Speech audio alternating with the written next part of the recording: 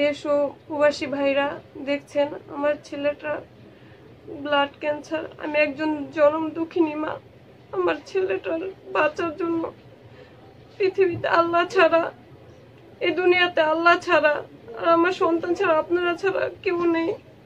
আমাকে সহযোগিতা ও সাহায্য করবেন আমার ছেলেটা বাঁচার জন্য। আমার ছেলেটার বয়স সাত বছর সুপ্রিয় দর্শক, আসসালামু আলাইকুম। দেশ এবং দেশের বাইরে থেকে যে সকল ভাই বোনেরা শত ব্যস্ততার মাঝেও আমাদের এই ভিডিওটি ক্লিক করেছেন, তাদের সবাইকে আন্তরিক প্রীতি ও শুভেচ্ছা জানিয়ে শুরু করছি আমাদের আজকের প্রতিবেদন। দর্শক আমাদের ক্যামেরার সামনে যে বোনটিকে দেখতে পাচ্ছেন তিনি একজন জনম দুঃখিনী মা। তার কলে যে সন্তানটি বসে আছে এই সন্তানটির বয়স কত? আমরা তুলে ধরবো এই ক্যামেরার, আমাদের প্রতিবেদনের মাধ্যমে। এই বয়সে এই সন্তানটি থাকবে স্কুলে বাচ্চাদের সঙ্গে খেলাধুলা করবে আজ কেন সে মার কোলে বসে আছে এবং বিছান- বিছানায় মৃত্যুর সঙ্গে পাঞ্জা লড়ছে? আমরা সেই বিষয়গুলো আজ এই বোন বোনের কাছ থেকে শুনব এবং আপনাদের মাঝে তার বাস্তব জীবনের গল্পটি তুলে ধরবো। দর্শক আমাদের সঙ্গেই থাকুন। আপু আসসালামু আলাইকুম।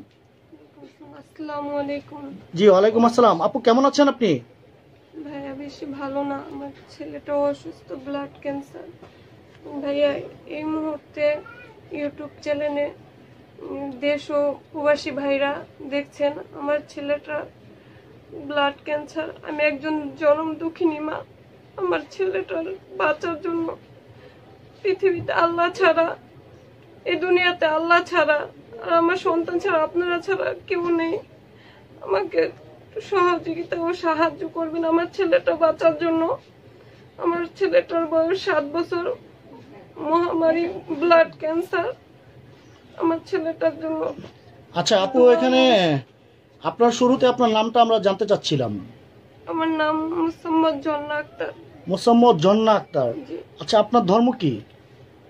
আমার ইসলাম ধর্ম। ইসলাম ধর্ম। আচ্ছা ইসলাম ধর্ম আপনি কি বোন নামাজ কালাম পড়েন? জি ভাই আমার বাচ্চা নিয়ে যখন ঢাকা মানে হসপিটাল দৌড়াদৌড়ি করি তখন সময় পাই না। কিন্তু বাসায় থাকলে আমি নামাজ পড়ি। আপনি কি কোরআন শরীফ পড়তে পেরেছেন?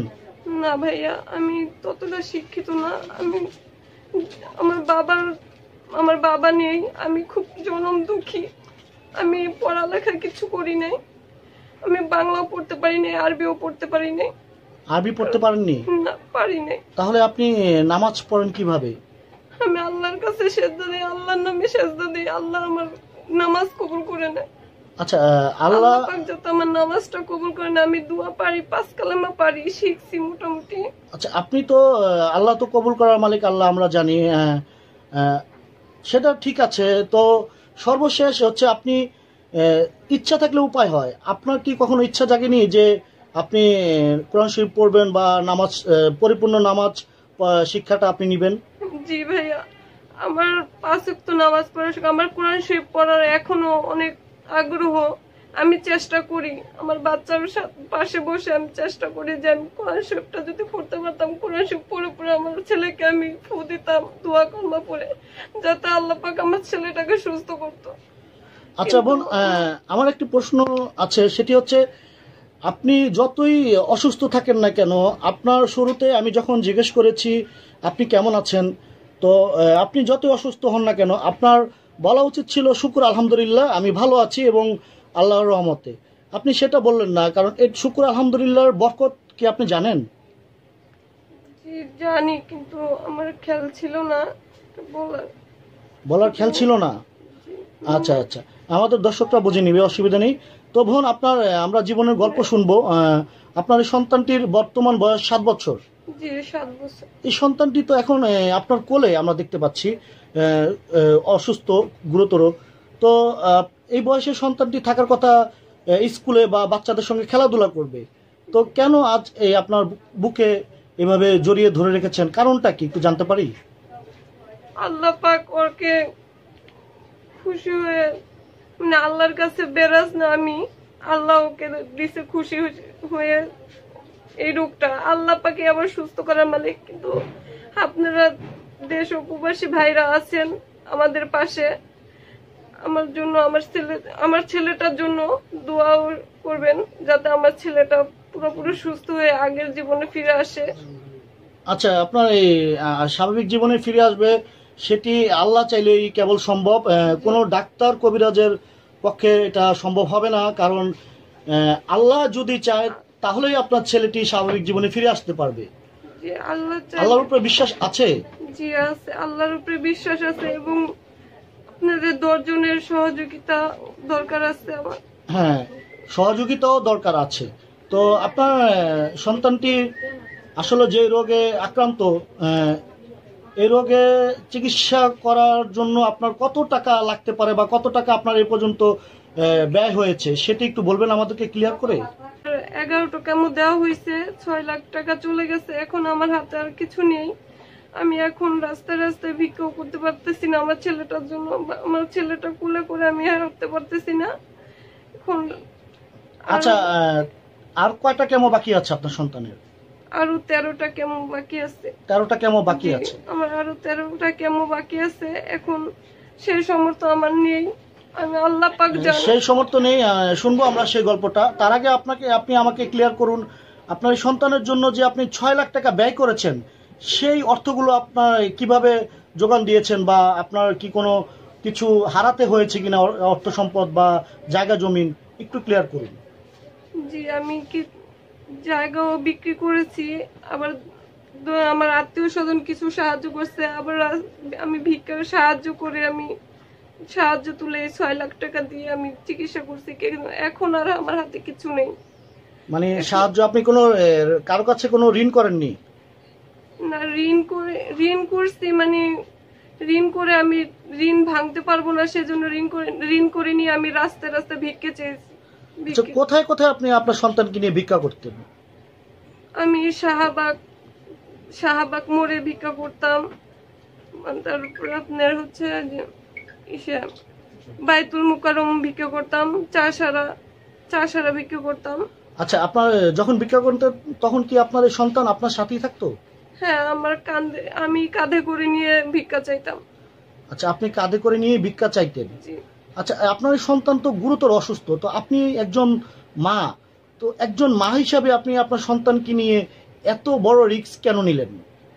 আমার সন্তানকে বাঁচানোর জন্য আমার একটা মাত্র সন্তান আমি ওকে বাঁচানোর জন্য আমি রাস্তায় হাত বাড়াইছি। বোন আপনি তো চাইলেই তো আপনার সন্তানকে আপনি বাঁচাইতে পারবেন না যদি আল্লাহ না চায়। সেটি আপনি জানেন? হ্যাঁ আল্লাহ উপর আল্লাহ বাঁচাবে এবং আমি তো মা আমি তো আর আমার সন্তানকে আমি বাঁচানোর জন্য আমি রাস্তায় রাস্তায় ভিক্ষে চাইছি। এক মুহূর্ত- বাঁচানোর মালিক হচ্ছে আল্লাহ। তারপর আমি হচ্ছি মা।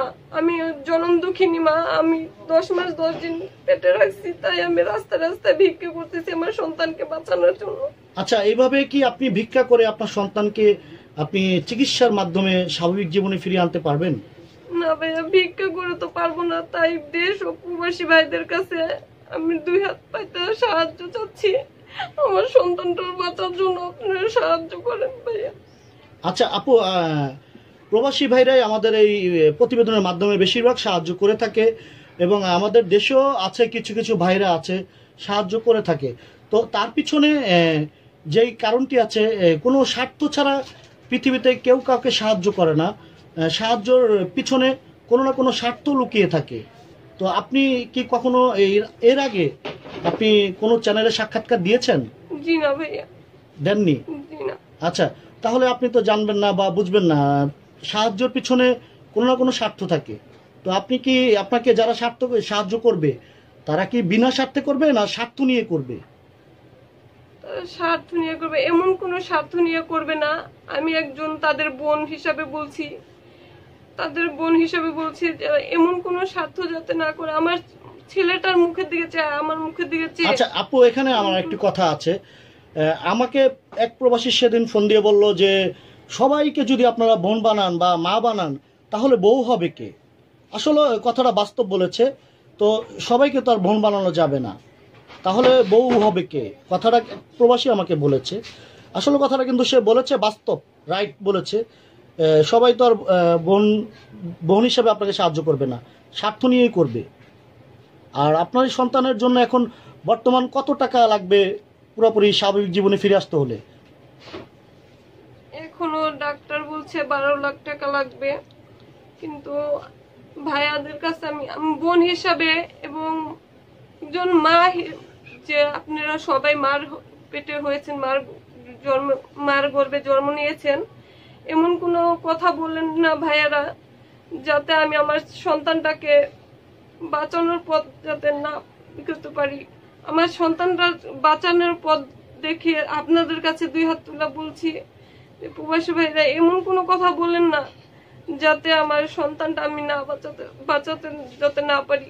আপনাদের উদ্দেশ্যে বলছি তে আমি আপনার মা মা আমার যেমন সন্তান আছে, আপনারও তেমন মা আছে, মা হিসাবে, বোন হিসাবে অনুরোধ, এমন কোনো কথা বলবেন না ভাইয়া, যাতে আমার আপনি কষ্ট পান যাতে আপনার সন্তানটাকে হ্যাঁ, বাঁচাতে গেলে ব্যাঘাত করতে পারে।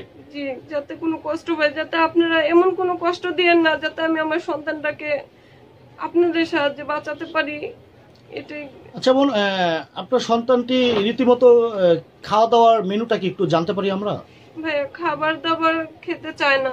উনি খাবার দাবার খেতে চায় না ভাত পানি খেতে চায় বমি আসে বমি করে। খুব দুর্বল। তরল জাতীয় খাবারের কথা বলেনি ডাক্তাররা? ডাক্তাররা বলছে মোটা চামড়ার ফল খেতে মানে আচ্ছা, মোটা চামড়ার ফল টক জাতীয় জিনিস এগুলো আমি মানে সবই খাওয়াতে পারব। আচ্ছা এক একটা কেমোতে কত টাকা আপনার ব্যয় হয়? ষোলো হাজার টাকা করে ব্যয় হয়। সেই ষোলো হাজার টাকা আপনি কীভাবে যোগান দেন বা কোত্থেকে খর- কোত্থেকে জোগাড় করেন বা কতদিন পর পর দিতে হয়? কেমোটা হচ্ছে? এক সপ্তাহ পর পরও দিতে হয়। মানে শুরুর থেকে তিন দিন পর পর দিয়ে আসছি। এখন আর কি নয় মাস হয়েছে। এখন দশ দিন পর দশ দিন পর পর দেওয়া হয়। আচ্ছা আচ্ছা। তো শেষ করব। তো আপনার সঙ্গে যদি আমাদের কোনো প্রবাসী ভাই বা আমাদের বাংলাদেশি ভাই যদি যোগাযোগ করতে চায় বা আপনাকে যদি সরাসরি তারা সাহায্য সহযোগিতা করতে চায় তাহলে আপনার সঙ্গে যোগাযোগের কি ব্যবস্থা আছে? জি আমার মোবাইল নাম্বার আছে। নাম্বারটি কি বিকাশ করা? জি বিকাশ করা আছে নাম্বারটা। আচ্ছা তাহলে আপনি নাম্বারটি বলুন। নাম্বারটি মুখস্থ নেই আপনার? জি মুখস্থ নেই, মোবাইল থেকে আচ্ছা তাহলে মোবাইল থেকে দেখে দেখে বলুন। Zero one seven zero one seven zero one seven four one four one two one two one three double seven three double seven one. One. আরেকটি বার বলুন নাম্বারটা। Zero one seven zero one seven four one four one two one three double seven one. আচ্ছা আচ্ছা। এই নাম্বারটি বিকাশ করা তো? নাম্বার ঠিক আছে তো? আচ্ছা। সুপ্রিয় দর্শক আমরা শুনলাম একজন অসহায় বোনের জীবনের গল্প। এই বোনটির কোলে যে শিশু বাচ্চাটিকে দেখতে পাচ্ছেন এই বাচ্চাটির বয়স হচ্ছে সাত বছর ব্লাড ক্যান্সারে আক্রান্ত। তো একজন জনম দুঃখিনী মা চাচ্ছে তার সন্তানটিকে পৃথিবীর আলো দেখাবে বা বাঁচিয়ে রাখবে পৃথিবীতে, সেটা একমাত্র আল্লাহ পাকেরই সম্ভব বা তিনি চাইলে সন্তানটি আবার পৃথিবীতে বেঁচে থাকতে পারবে। এই মহামারীর রোগ থেকে আল্লাহ পারবে তাকে মুক্তি দিতে। দর্শক, এই বোনটিকে যদি আপনারা সাহায্য এবং সহযোগিতা করেন